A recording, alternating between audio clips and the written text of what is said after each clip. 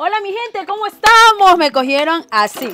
Bueno, hoy vamos a hacer un rico desayuno, un pescadito frito, miren, tengo unos camotillos y unas caritas, las famosas caritas y el camotillo. Ahorita lo voy a aliñar, tengo aliñito y me encanta echarle limoncito, vean. Limoncito, bueno, les cuento que el limón está caro, está por los aires.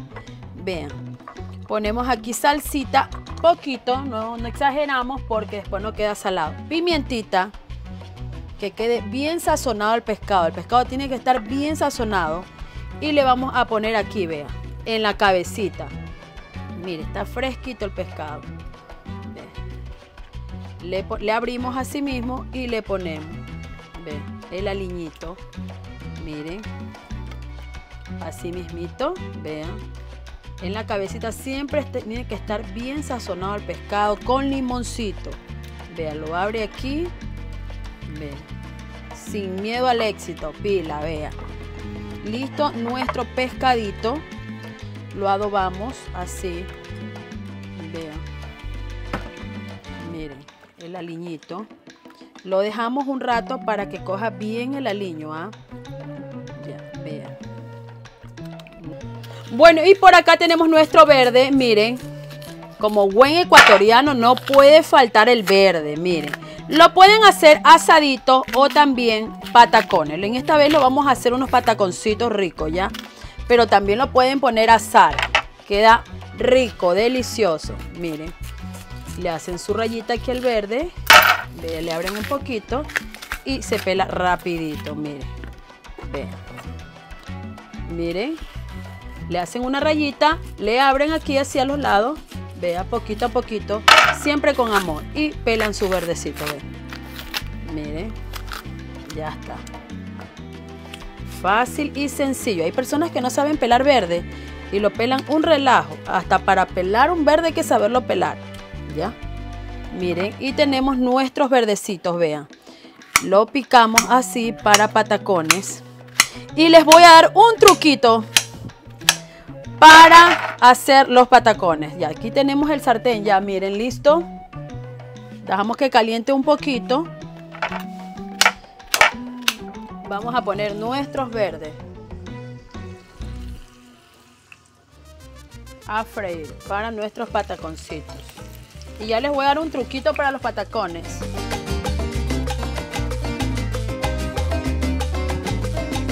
Y bueno, por aquí tenemos dos cabecitas de ajo con salsita. Y miren lo que vamos a hacer para nuestros patacones, ¿ya? Vean, lo podemos hacer así. Miren, con un poquito de agua ponemos aquí y hacemos una agüita con ajo.